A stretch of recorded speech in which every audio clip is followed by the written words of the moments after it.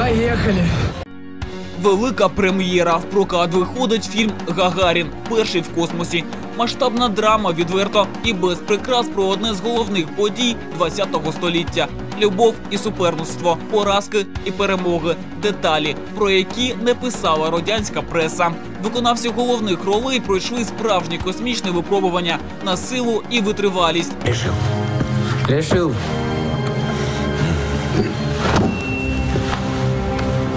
Ехай. За словами творців картини, особливо важливо для них думка про фільм дочок Юрія Гагаріна. Самой волнительной встречей во время съемок для меня была встреча с Еленой Юрьевной Гагариной.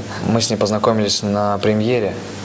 То есть я сам на премьеру шел, у меня тряслись коленки, я вообще не знал, чего ждать, потому что м, ну, я просто переживал, и, наверное, поэтому. Но когда Елена Юрьевна после премьеры подошла ко мне, и я стою, думаю, боже мой, что она сейчас скажет? Она протягивает мне руку и говорит, вы большой молодец, спасибо. Фільм триває 108 хвилин, як і політ самого Гагаріна. Ви все самі зможете побачити і оцінити вже сьогодні.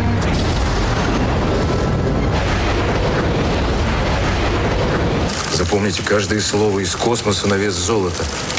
Представьте, что ваш сын в ракете. Представьте, что вы его послали в космос. Я бы не послал. А я послал.